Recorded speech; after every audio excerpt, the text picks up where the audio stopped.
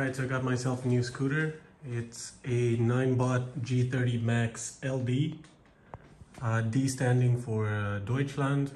and so what this means is it goes the slowest ever at uh, 20 per hour. Obviously I did flash a custom firmware. This is done with the scooter hacking app. So the boys over there did a tremendous job, insanely good.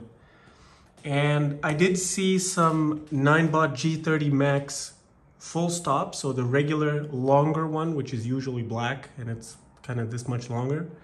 And I did see a guy tearing down one of those batteries, and it's a 10S 6P pack, which is amazing. But then I saw in M365 tools that it, this does report 10,200 milliamp hours which is kind of weird given that the Pro 2 I have is 12,800 or thereabouts, right? So I do want to know roughly the setup of this battery to know how much I can pump into this motor. At the moment, I'm running 1.2 kilowatts and it is dangerously fast, very enjoyable.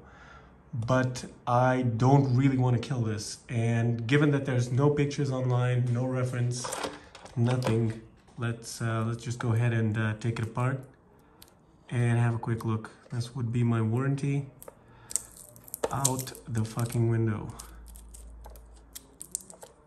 Which is the ethical thing to do, right? Given that we are running this close to three, four times, eh, two, three times faster than what Xiaomi intended. So yeah, it's only fair to forego the warranty yeah so.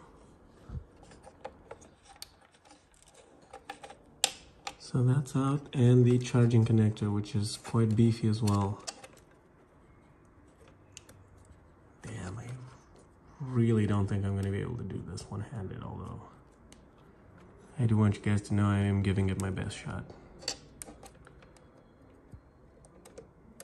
All right I'm pretty good at this not gonna lie.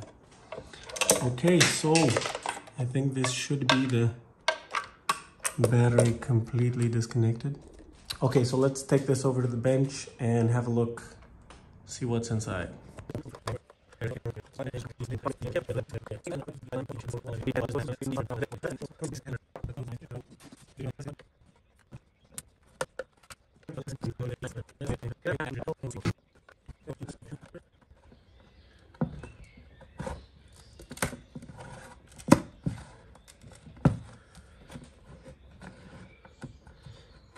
Yes, it's going very well. I have to say I was expecting more issues. Now it doesn't have a seal anymore, so that is a problem, but I might run some sanitary silicone over it. Let's see how. It is time. Cheers. How well it sits. Okay, so this is way empty. Holy shit.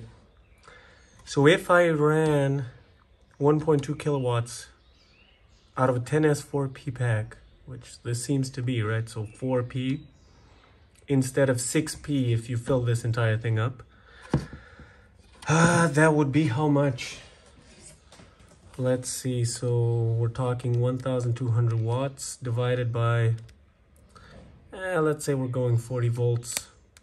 So that gives us 30 amps out of 4 cells divided by 4.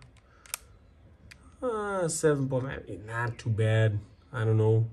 I mean, again, the vaping people take 50 amps out of these, so it should be fine. But, um,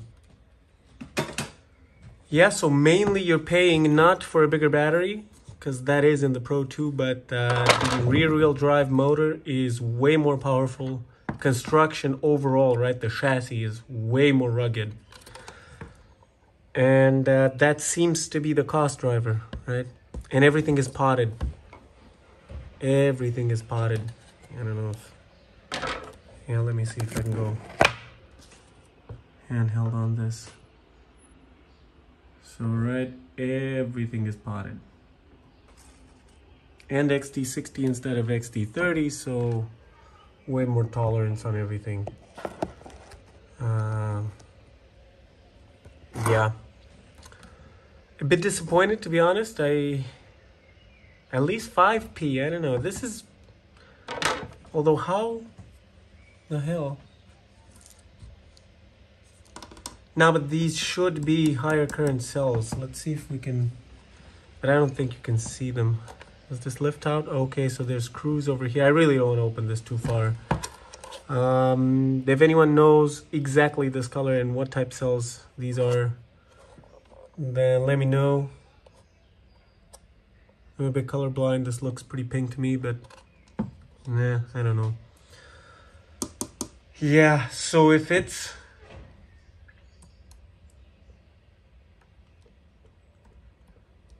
Yeah, so it is 40 cells. So this is exactly how many cells are in this one. And if this has 12,800 and that has 10,000, it means these are higher current cells. So I should be fine with going 1.2 kilowatts with this. I know I'm explaining this to myself. I, right? I don't know. Do what you gotta do. And uh, yes, I think, I think we could just um, seal this back up. These connectors seem pretty, pretty flimsy here. Not gunked down at all, but they probably have some kind of hook thing. We have some temperature probes and uh, there should be a thermal fuse perhaps here. I don't know.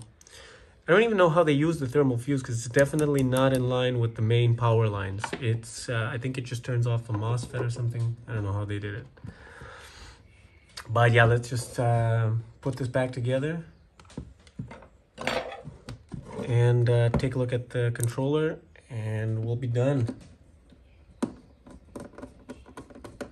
While I tighten down the screws, I will say, similarly to cars, rear, rear wheel drive does feel pretty good, right? So has this kind of a no slip feeling, right? So when you accelerate, all your weight goes on the back wheel. So unless you put down ridiculous amounts of power, it will not slip.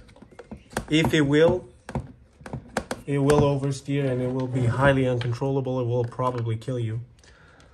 But that should only happen in the winter or, I don't know, uh, rainy conditions on marble or shit like that. So overall, should be fine. Uh, I don't think I'll be able to do drifts outside of mud roads or something, but um, it feels nice and it's louder than the Pro 2, right? It just, it feels beefier. And given what we've seen, it is built beefier than the Pro 2 and this seems to be way easier to repair than this but I don't know. Given that I've never repaired one of those might be mistaken. Maybe it's fine. Maybe I'm just panicking. Although right the issue I have with this is the cells are oriented this way. Right? So if I want to take a middle bank out how the fuck do I do it? Do I like does, does it open? Does it accordion open? How does it I don't know. I'm I'm really scared. I'm I'm genuinely afraid of what's gonna happen I've discharged it as much as possible, but given that one of the banks is 0.8 volts behind, under load, that'll definitely cut under three and stop stop the discharging for everything else. So it's a tall order to discharge this properly. And I'm not gonna go like five per hour either, so that's out of the question. And before we wrap up, Let's have a quick look. Man, I really don't want this falling on the floor. Let's have a quick look at the controller. And as I said, very nice two-stage conform holy shit conformal coating. So they have this uh, silicone thing going once on the MOSFETs and once on everything else. So that is very sexy, I have to say. And yeah, this is the three cap model. Apparently there's one with just one cap. I don't know. Um, thermal pad, so very nice. Again, a bit more expensive than what Xiaomi did. And all the MOSFETs are screwed down. In the case of the Xiaomi, they are not. They're pressed in with the top top half of the the controller case. And yeah, apart from this, I don't know, this, this is a bit more shitty than what Xiaomi has with the magnetic uh, cover. Motor is supposedly more powerful. These plastic, th plastic things are a bit shittier than what Xiaomi has. The German people need their um, uh, this little badge thing to get them road legal. Uh, drum brakes in the front instead of disc brakes in the back. I don't know, they should be fine. And also they have this very nice sleeve so the wire doesn't get dirty. So it's always very easy to press. So that should be nice. Little adjustment thingy over here. Again, very nice. Solid construction, different um, different folding mechanism. And I really hate the fact that it's fucking black over here. Why the hell is everything gray and the thing black? I don't know. Same thing with the with the white Xiaomi models. I don't know. No, um, no support for the uh, fender, but it is way more sturdy than the original M365 one.